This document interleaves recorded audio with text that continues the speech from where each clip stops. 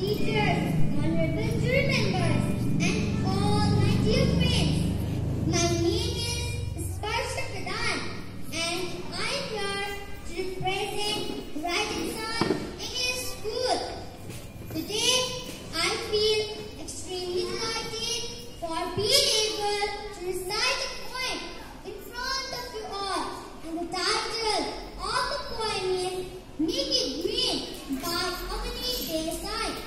Nikki.